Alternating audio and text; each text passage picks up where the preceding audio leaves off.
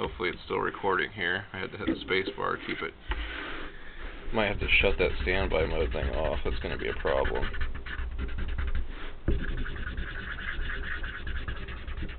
And it started doing that when I reinst when I installed Windows 64-bit. So that must be part of it because it wasn't doing that before when I had the 32-bit Windows. This is interesting. Um, but yeah, the carnal Christian doctrine it has to do with like easy believism, which I always talk about. I think that basically the basis of it is that whenever the easy believism teaches that you know a person can be saved and not have like any kind of changed life, you know, not have a prayer life or not be interested in reading the Bible. They basically go and continue living like a lost man, but they'll say they're just a carnal Christian. Yeah, they're saved, but they're just carnal. So I think that I wanted to look at the word carnal to kind of understand that more to see if there was any um, anything to that. I remember that I have laundry in the washer, so I'm going to run away real quick and put it in the dryer. It's probably done now, and then I'll be back, so hang on with me.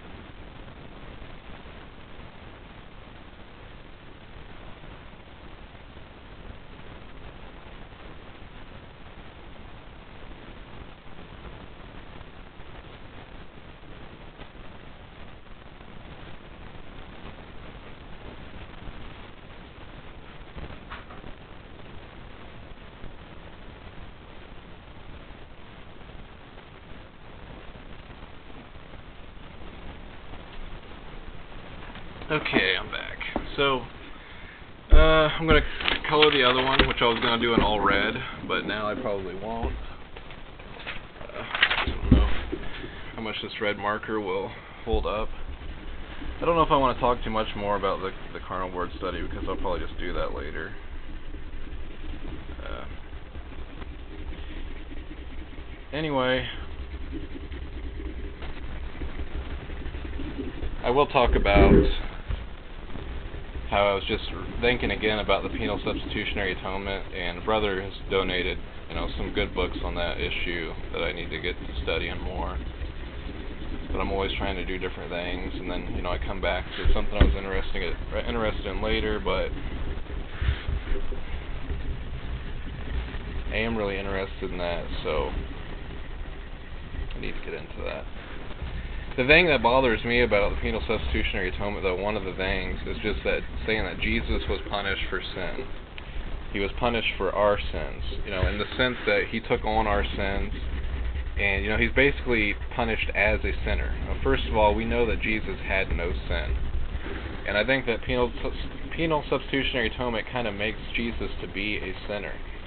You know, uh, even though they'll say, well, it's not his own sin, but he was punished for our sins I don't like the idea of Jesus being punished for sin, period. And I don't think that the Bible teaches that Jesus was punished for sin um, in that sense. You know, that he was punished as guilty, basically. And the reason why people think this is because they say that sin can't go unpunished. Uh, know, somebody has to pay for, for one way or the other. And so, before I can continue that thought, I got to think about what, where I'm going to go next with the. Uh,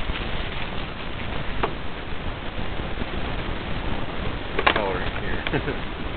so I'm trying to think if I could do like different colors than what I already did, but there's not very many options. Uh, here's like a brown, or here's like a dark green. No, I could do it black. The black marker would probably dried out. I don't know if the brown is or not. It'd be risky. I know I use the black and the brown a lot. If I do the brown and the dark green,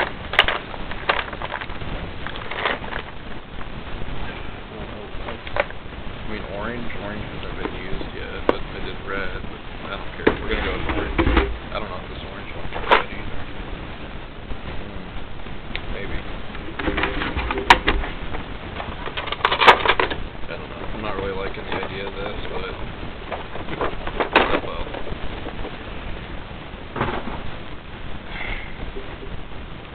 So first we will do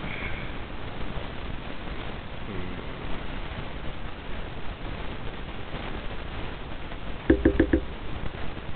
You know, another interesting thing is I don't know how long that how long that red will last.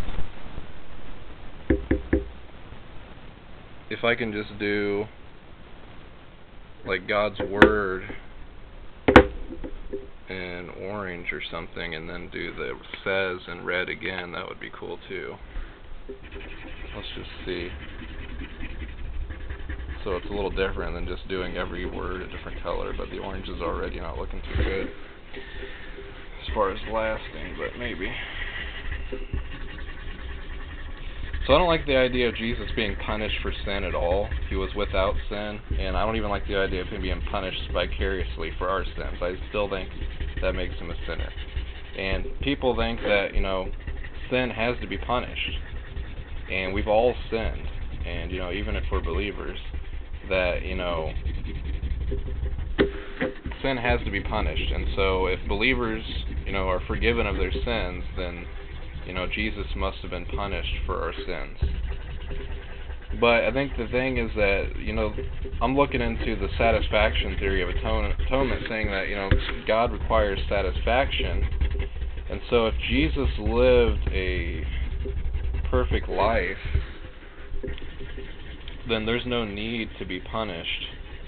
Um, you know, I guess that vicariously, when we put our faith in Christ, then we get that benefit of you know his perfect satisfaction.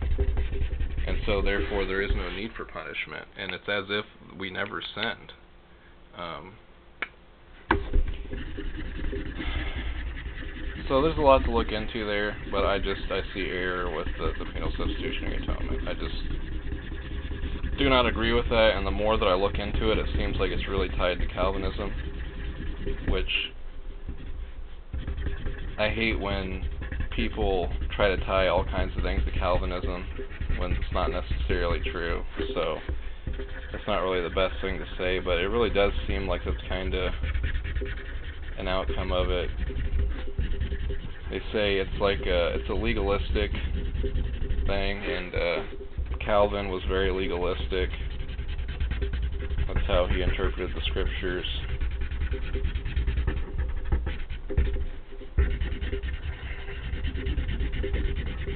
One one of these that I have that I already did the cover for was uh, completely in red. So I don't know why. I really like black and red and white. Pretty plain. But um the one that I already put the cover on, the book wasn't even finished. Okay, we're gonna attempt this. I think the red will last here. So I've got God's Word in, in orange, and then what it says in red. It's different.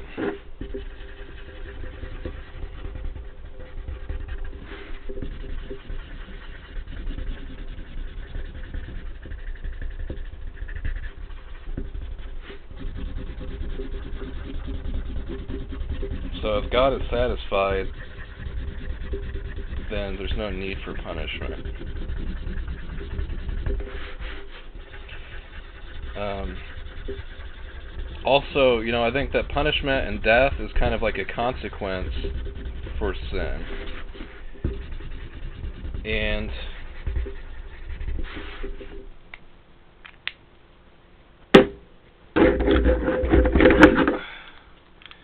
you know, I don't know. It's like some people look at it like God wants uh, sinners to be punished or whatever, but I think you also look at it as it's just a consequence of sin.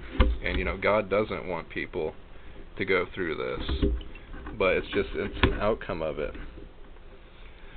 So here's a paper slicer I got it on. I'm going to try to cut it as best as I can. It's not going to be perfect.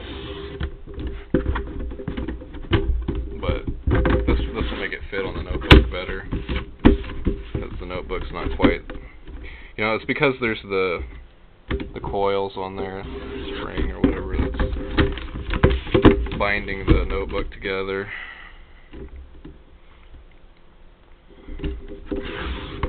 So the paper slicer is a little neat tool to have, really, to make little cards or whatever. Just a really cheap thing. If you're gonna have like a study or something, you should get one of these. So definitely not perfect, but you can see there and. I think uh, that's good enough. So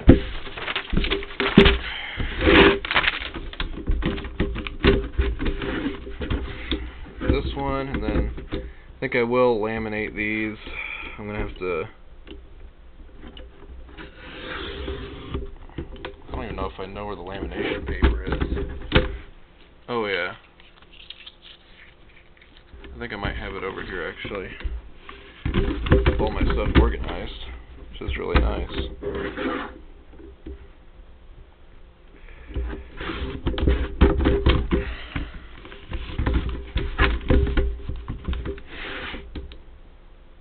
I would love to like mass produce these. I mean, obviously it takes a while to get these done, so I don't know how fast I could get these done, but maybe like one or two a month or something. But you know, if I'm gonna do it again, make like five or ten of them, then I can tell people I can send them out. I think I cut this right. I think I just didn't put it on here right because it looks about the same as the other one. I think it's just not it's not square as it should be. I cut it square, but it's it wasn't square on the paper there. So think it's going to be random which one I put on which one. Um, not going to worry about that much. Let's see here. Get out the laminator. Figure out. These aren't too much. They're nice to have too. And you have to buy the lamination sheets. Here's this. Can't see it perfectly from that view, but it's gonna come out down here. It goes in through here. And it needs to be plugged in.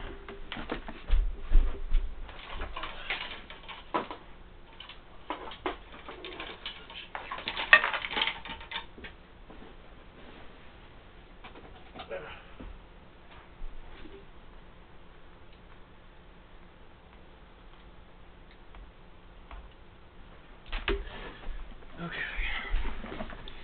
Now, turn the power on.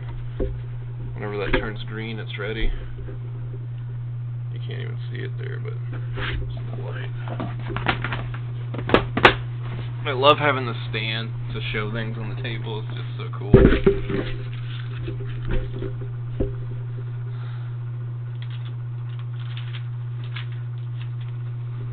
Now, gotta figure out what I do with the lamination sheets. Maybe I'd have them over here, but where did they go? These are. Hmm.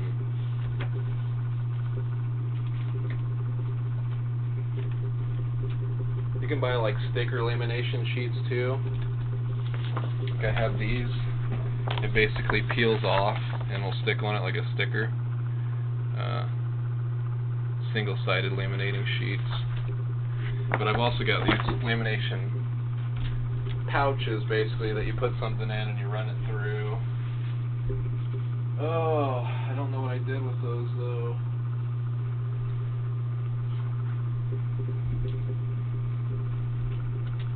Hmm.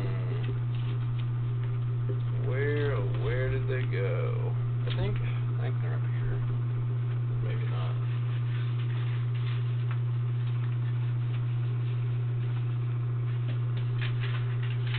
Seriously.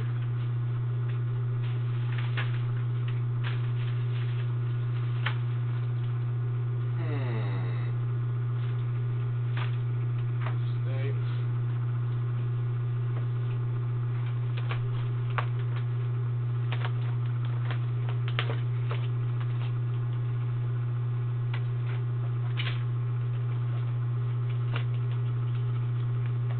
Here's a binder that I can't even show this. Binder that I have that I put different stuff in. For some reason, I was getting this Jewish Weekly thing in the mail for a while. I saved those. I just subscribe to so many things for free that I don't, I don't even know. I just get stuff in the mail. Age of the Earth, some notes that I took on uh, Kent Hovind's teachings and different stuff. I got the Voice of the Martyrs some other magazines they sent me in the mail. This Evangel. I'm at the Assembly of God. They were handing these out every month or whatever. Word of Faith. I got tons of those. Christian bookstore and Answers in Genesis. Those go saved too. But where are the laminating sheets? Alright. This baffles me. They should be here somewhere. Oh, they're right in front of me. Duh. I wonder, do I have auto? I must have auto uh, focus on there, so I'll get out of focus. These were right in front of me. That's how it always is. Right in front of me. 200 laminating sheets. There's still plenty left. So I'm getting some use out of these. There's one. And there's two. And the light still isn't green yet, I think. How can I not see that? Now I know. Probably forget again.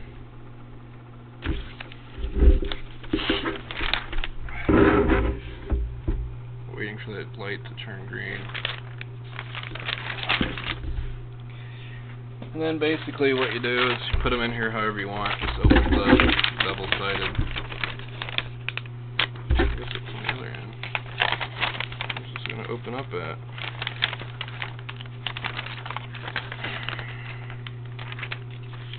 Hmm.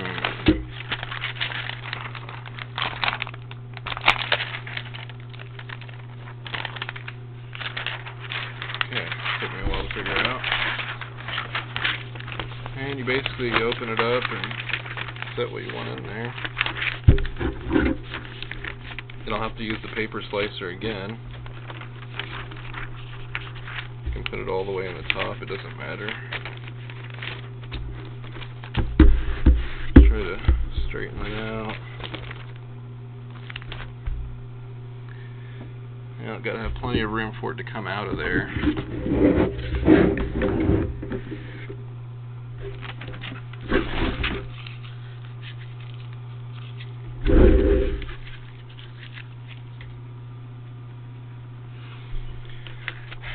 I'm waiting for till I get paid some more, and I'm kind of waiting for my taxes, but I don't know how much all that's really going to help. For you know, I had a lot of different ideas of things I wanted to do, but basically, I want to make I want to pay for some more intros from Renderforest to use for the videos because I think they're nice and easy. Uh, they look good, you know, 3D presentations and stuff. I can make my own intros over time with the movie maker, but for now it's just easy just to get something that's nice like that and put it together. But with the video editor, I can, uh, you know, put them together, put the intro on there. Okay. Maybe it's for that blue light to turn blue. I mean, it says ready, so I think that's what it was. I guess it's not green. Usually stuff is green when it's ready to go, right? But blue in this case. But yeah, at the end of the week I'll get paid, and I'm gonna probably purchase some of those intros, and then I want to do some really good videos on some basic doctrines like the deity of Christ and stuff again. Who knows? But that, that's what's gonna. It's kind of what I'm waiting on. So you put it in. I'm gonna put it in on the end where it was already closed up. It'll take it through itself. Okay. Let me see if this. Okay. It'll start feeding it through.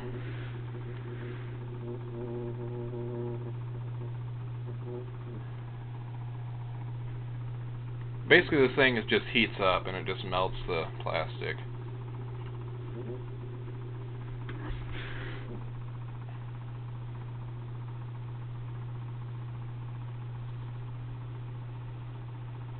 You know, and I could have used the lamination sticker stuff because you don't even need the back of this to be laminated, but whatever.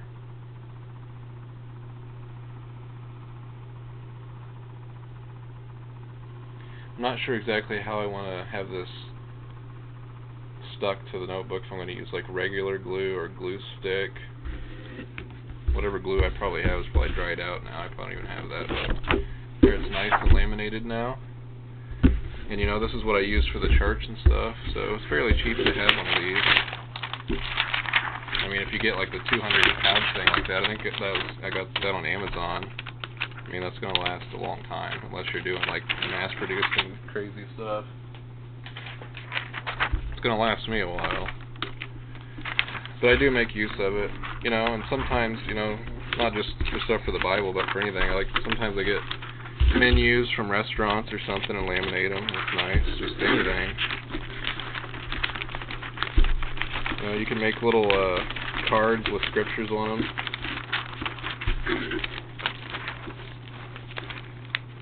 I don't know if I should have done these all the way at the top like this, if I should do this, but I did for the other one, so I'll do this for this anyway. But you can make little cards on little index cards or something of Bible scriptures and laminate them, carry them around your wallet. Go over them when you're sitting waiting in line or something. It makes it look a lot shinier and nicer when it's laminated like this. But obviously it's to protect it also.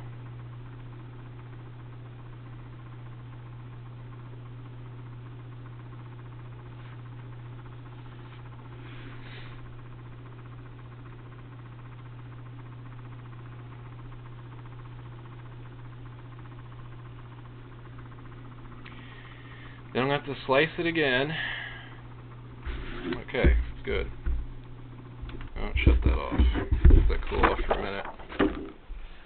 Unplug it all.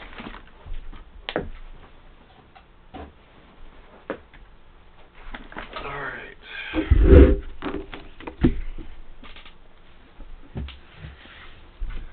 Did I put the slicer away? Underneath here.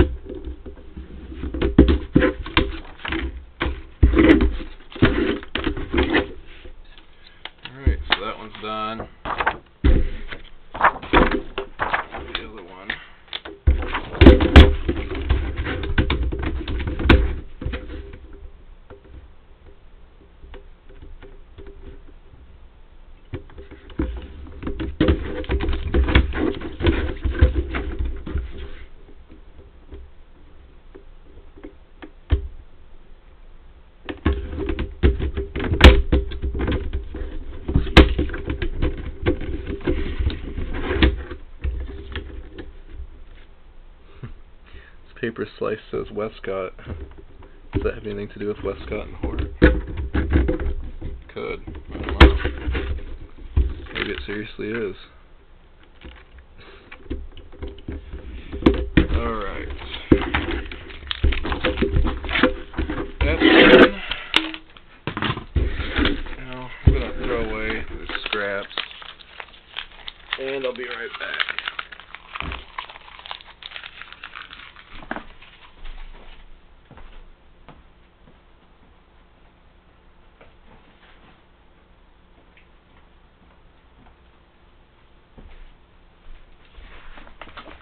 Okie dokie, now how am I gonna glue these two here? It's a good question. Glue stick, glue stick sounds like an easy answer, but these are so old, I don't know if they're good anymore. I mean, they're not. It's gonna have to be the Elmer's glue, which I don't even know if that's good anymore. I don't know.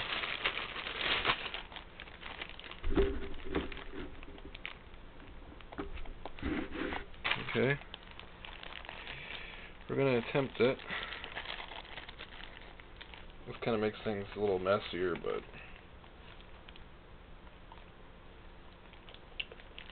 these glue sticks just need to be thrown away.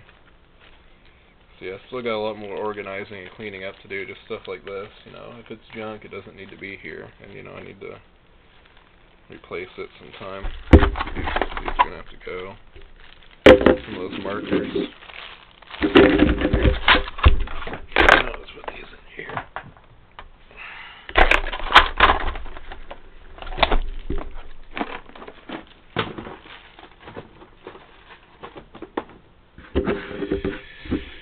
Well, unfortunately, I don't even know how I want to do this. But I guess that I can just put it a little bit everywhere.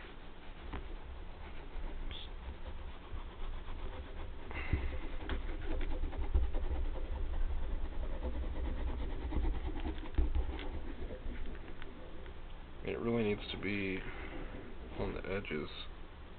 I want the edges to stay down.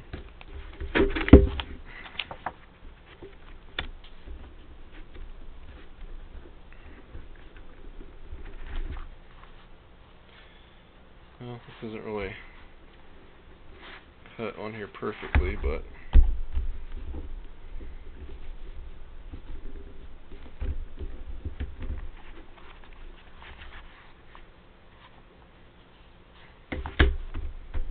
hopefully that'll be good enough to keep that on there. So, I'm just going to set this on the side and let it dry. Get this one on here. Just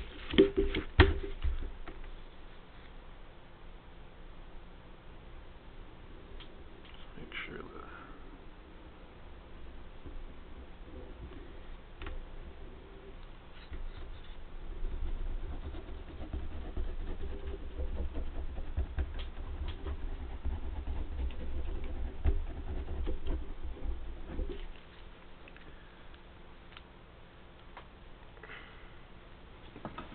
good enough for me.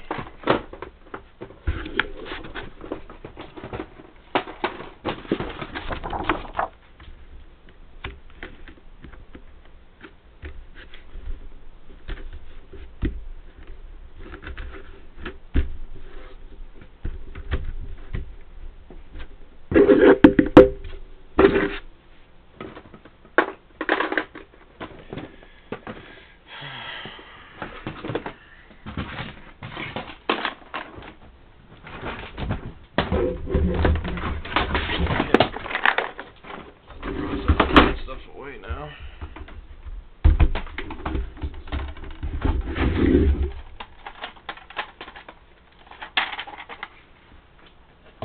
It's fine to put this away.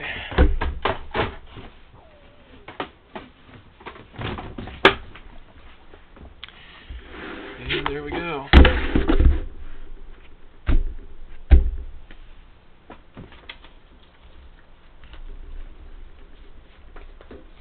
I've got these. I used to save a lot of envelopes and stuff. I got these basic plain white envelopes, but I don't know if they need more protection than this or not.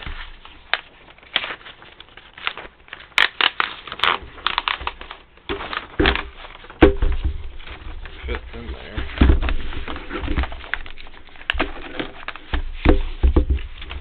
Probably good enough.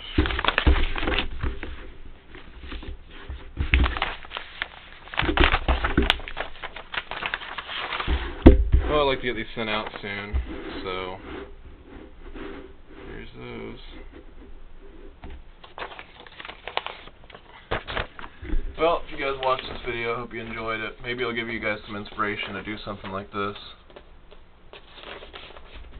Hopefully, in the future, I'll make more of these and hand them out. I really need to. I mean, I'll probably try to soon. Maybe this week I'll I'll start start a project like this. I don't know. I mean, I want to I want to work on more of the doctrines that I believe in and stuff. And you know, unfortunately, this one has some blank pages in the end of it still.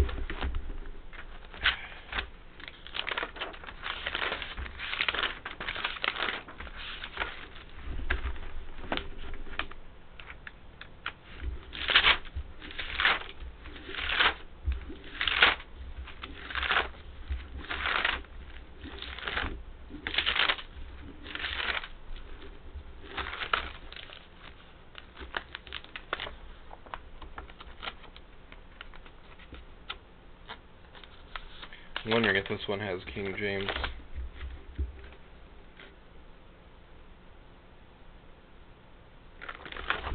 Not sure.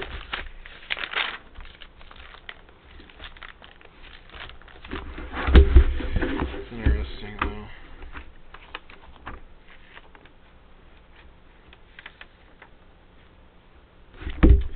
Okay, sorry, I'm just wasting time here, but anyway hopefully this week maybe I'll start getting into writing scriptures again, and we'll just make it a routine every day just to hack away at a little bit. I'll have to figure something out.